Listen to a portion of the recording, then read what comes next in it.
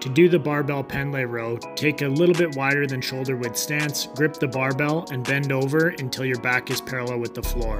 Row the barbell up to your chest by thinking about driving your elbows into the ceiling. Make sure you keep your core engaged.